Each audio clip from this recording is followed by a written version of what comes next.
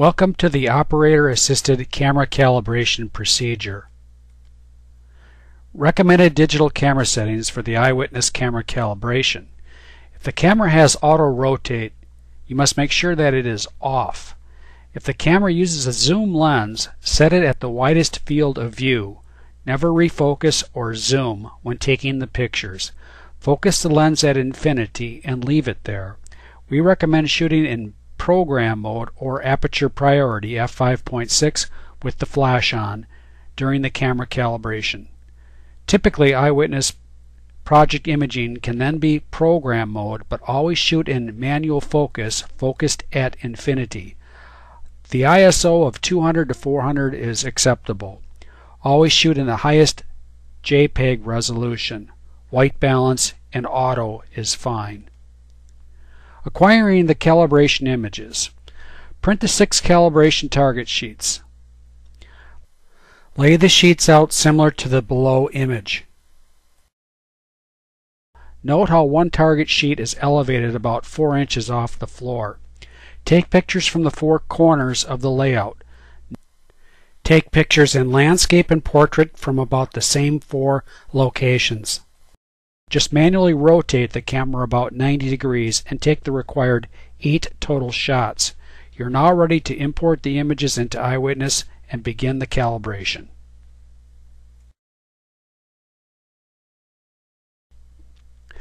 To begin the calibration, click on the iWitness shortcut and select File and Import Images. In the image browser, path to your working folder with the calibrated images and select the double arrow and click OK.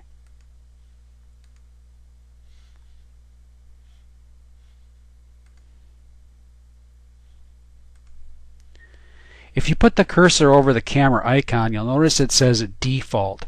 We're going to change the default camera to a new name so that every time you start a new project, you'll be given the opportunity to select the unique ID that was assigned for your calibrated camera. Double click on the camera icon and select the Add Unique ID. Type in a name for your camera. It might be the name of your camera and last four digits of your camera serial number. We're going to type in E420 serial number 1234.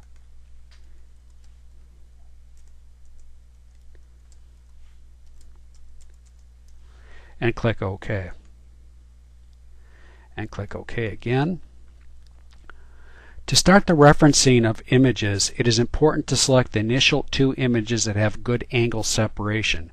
I'll double click on select image 1 and image 4.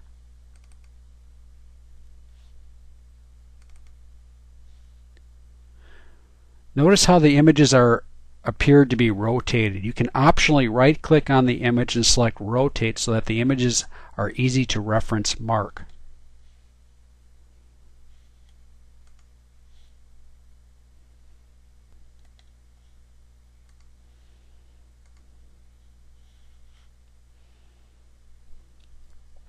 Click the green R button. Place a cursor over the black dot and depress and hold the C key. You might have to use the scroll mouse wheel to zoom in or zoom out to get the full black dot inside the square window. It is important the full circle is present in the window and the pixels are yellow. You can click anywhere in the yellow highlighted circle and iWitness will automatically center the marking by clicking the left mouse button.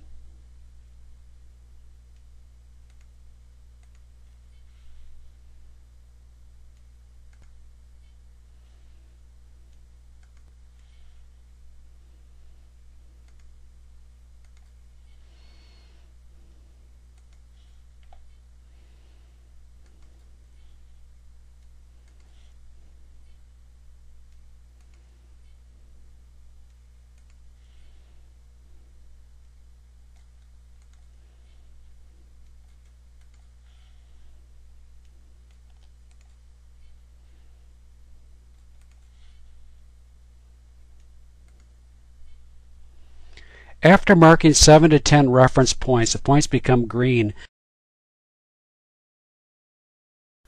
The images are now oriented and the points are 3D.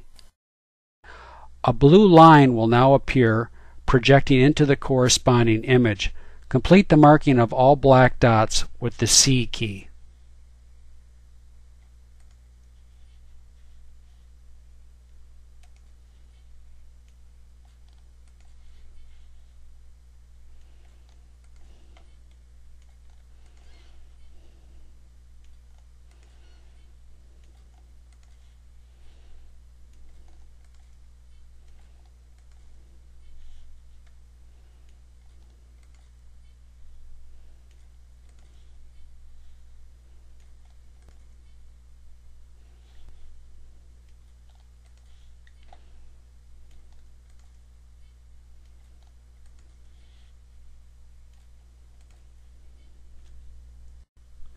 With all points marked green, close one of the images and open the next image, in this case image number 2.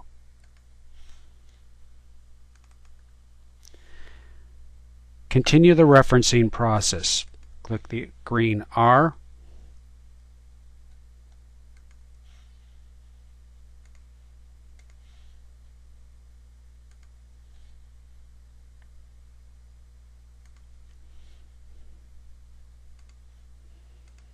all you have to do is click on the green label.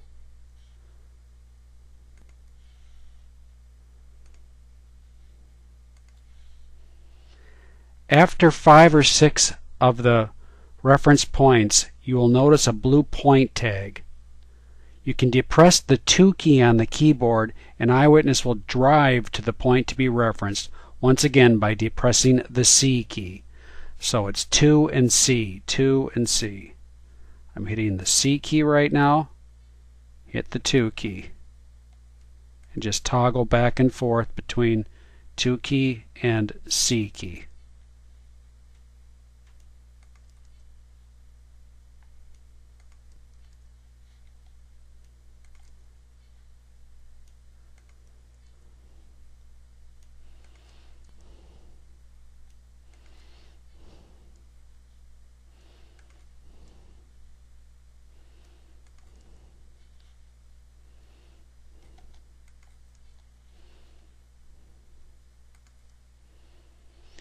With all points marked, you can click out of the open image and select the next one and repeat the same process.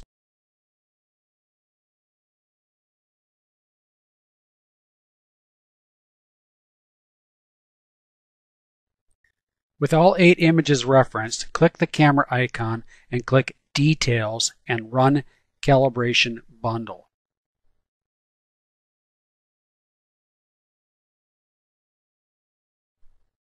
Clicking Yes will update the iWitness local camera database.